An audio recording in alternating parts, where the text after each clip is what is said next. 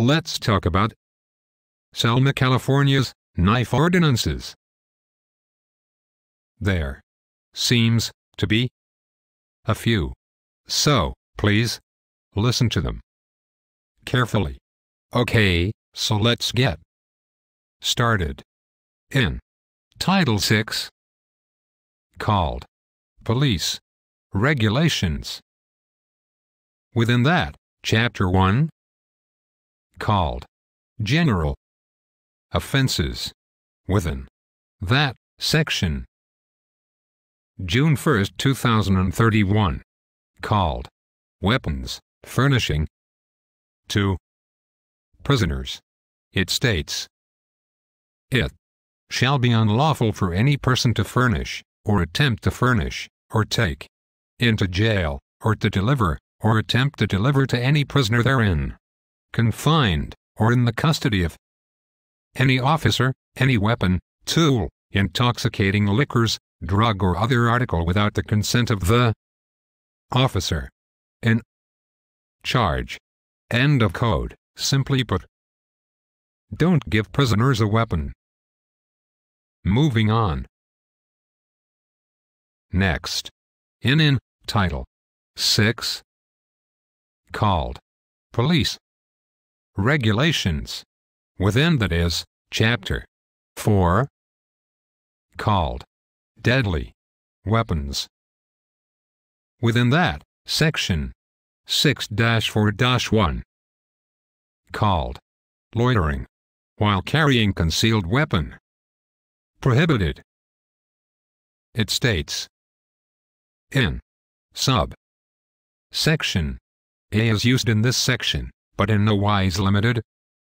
Thereto, dangerous or deadly weapon shall mean any knife with a blade 3 inches or more in length, any spring blade, switch blade, or snap blade knife or other similar type knife. A knife any blade of which is automatically released by a spring mechanism or other mechanical device. Any ice pick, or similar sharp, stabbing tool. Any straight edge razor. Or any razor blade fitted to a handle. Any cutting, stabbing, bludgeoning, weapon or device capable of inflicting grievous bodily harm. Next in subsection B. It shall be unlawful for any person, while carrying concealed upon his person any dangerous or deadly weapon, to loaf or loiter upon any public street, sidewalk, or alley, or to wander about from place to place, with no lawful business thereby to perform, or to hide, lurk or loiter upon or about the premises of another.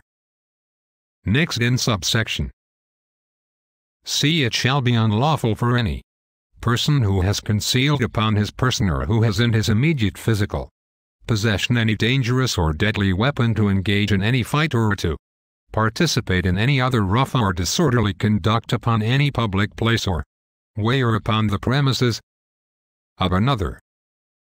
Next in subsection D. It shall be unlawful for any person who has concealed upon his person any dangerous or deadly weapon to loiter about any place where intoxicating liquors are sold or any other place of public resort. Next in subsection E. The foregoing restrictions shall not be deemed to prohibit the carrying of ordinary tools or equipment carried in good faith for uses of honest work, trade or business or for the purpose of legitimate recreation. End of code. So, no knives over 3 inches.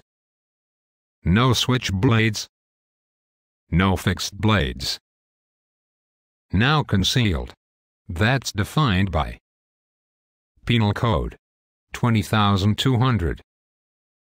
Penal Code 20200 states a knife carried in a sheath that is worn openly suspended from the waist of the wearer is not concealed within the meaning of section 16140, 16340, 17350, or 21310.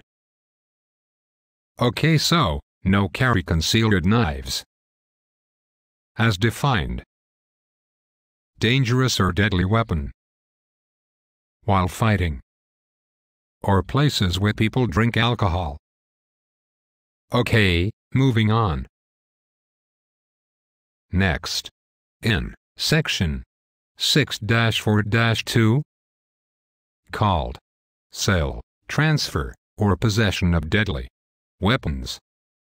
Prohibited. It states less than T agate equals 3 duration equals 0 slash greater than. Notwithstanding any provision in this chapter to the contrary, no person shall sell, offer for sale, expose for sale, keep, carry, possess, loan, transfer or give to any other person, any spring blade, switch blade, snap blade knife, or other similar type knife or any knife any blade of which is automatically released by a spring mechanism or other mechanical device. End of code. Basically, no switchblades. Well that's it for Selma, California's knife ordinances. Always remember to abide by your county and all of California's penal codes. As always, I am not a lawyer, and these videos are strictly for informational purposes only. If you need real legal advice, please seek out a criminal attorney. Always read and keep a copy of all pertaining knife laws for yourself. Practice stating the codes so that you sound confident and intelligent when doing so. Remember, you are your own best advocate. Stopping the process at the initial contact. It is far better than whining a court case after lots of legal action. Well, bye for now.